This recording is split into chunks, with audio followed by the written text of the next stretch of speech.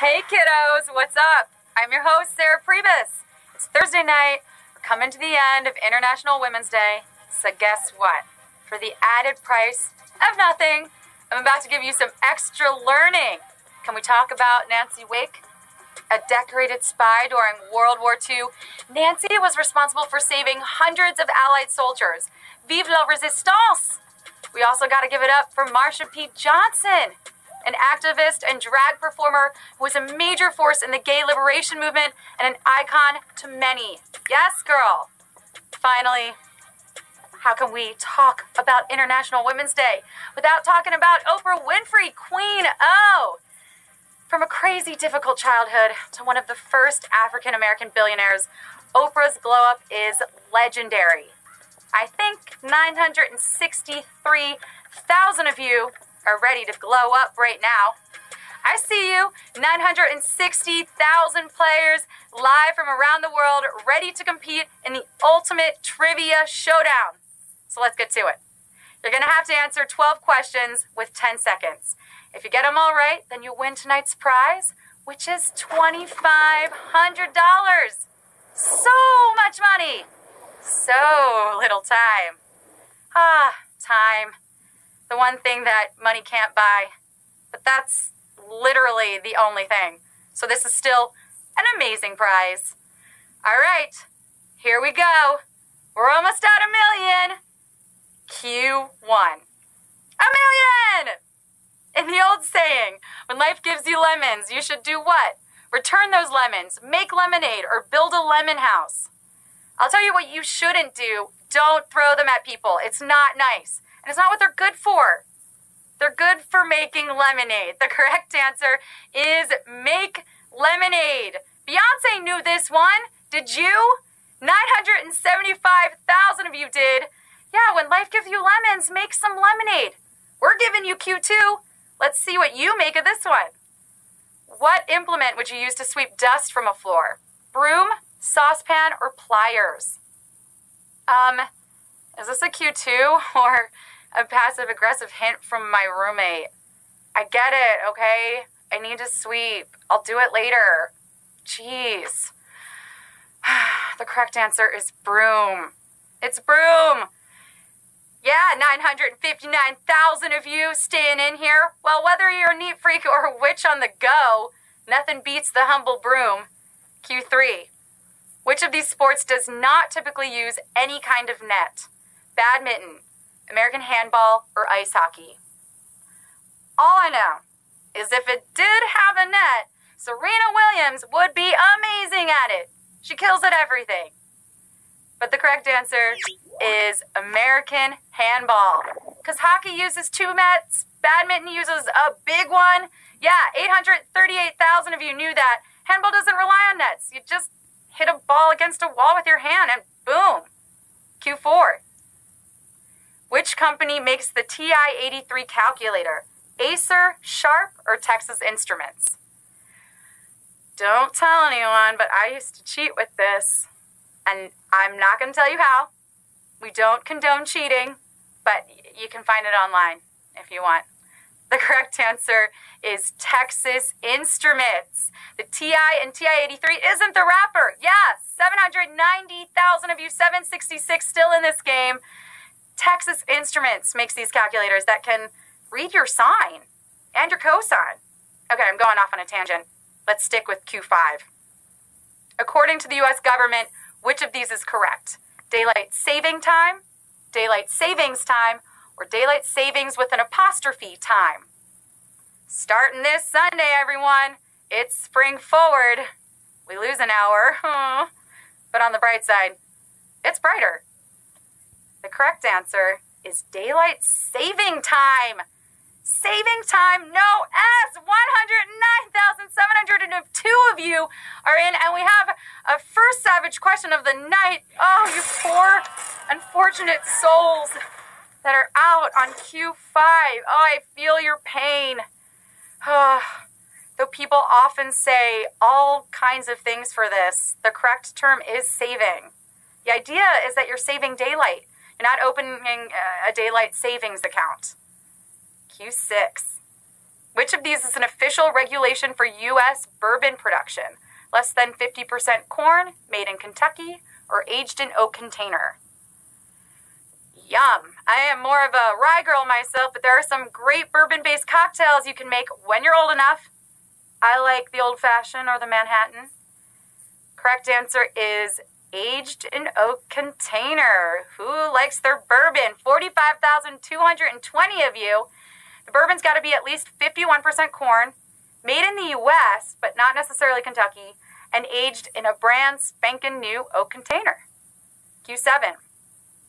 Thanks to how the French language works, what is NATO called in France? NAOT, NOTA, or OTAN? So when you choose a language elective, and start learning the language and the sentence structures get all jumbled. For example, the fast dog jumped over the small log turns into like jump dog fast small the like that. The correct answer is OTAN. In French, adjectives come after the noun. 15,459 of you knew that.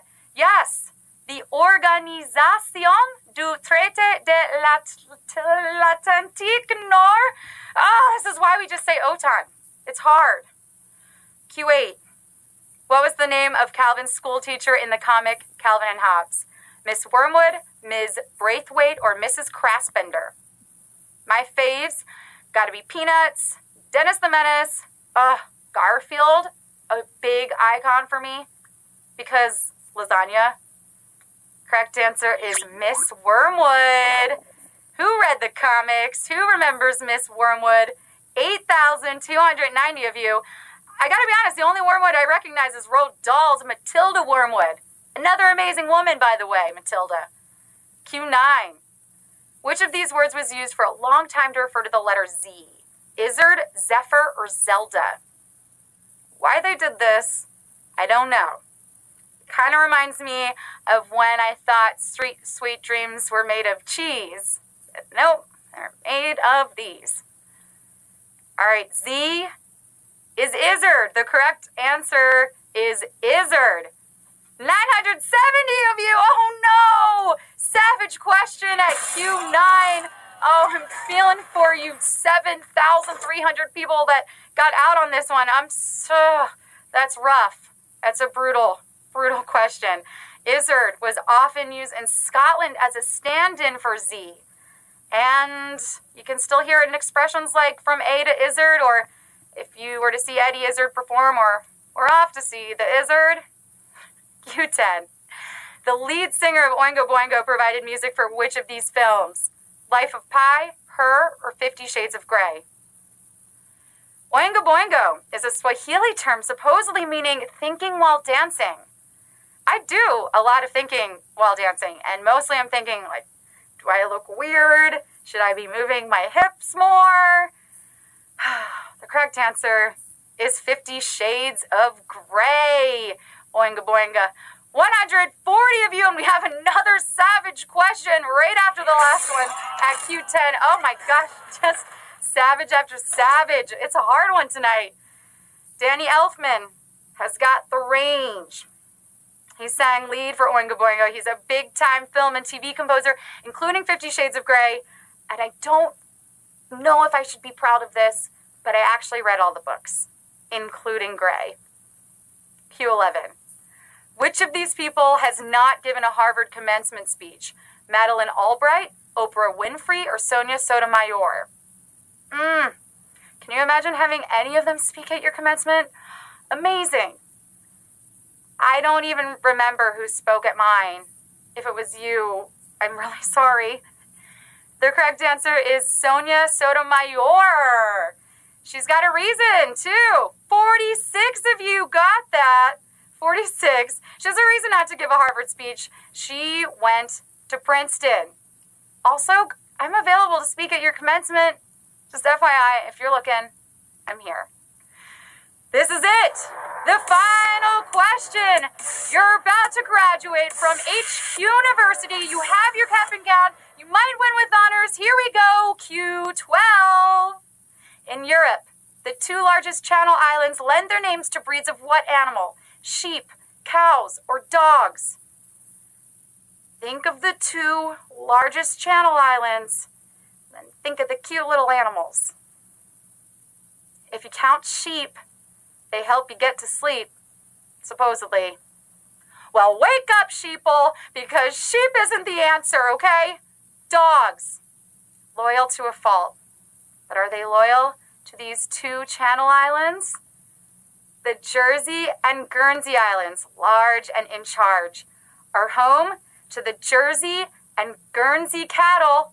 Cows is your answer. It's cows. And we have 14 winners. Congratulations. Yes. Wow.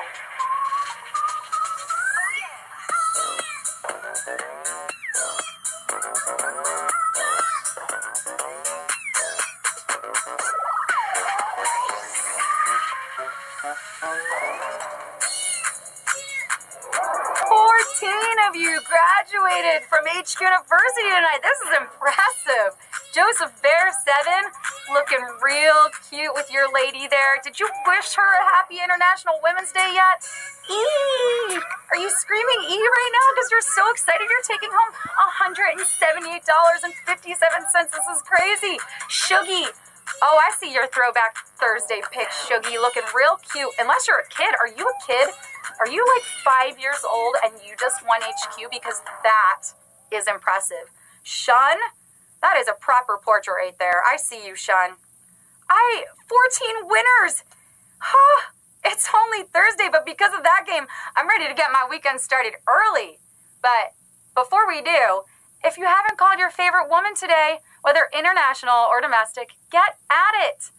Thank them for being them. I'm going to call my mom. She's amazing, and I, I don't tell her enough, honestly.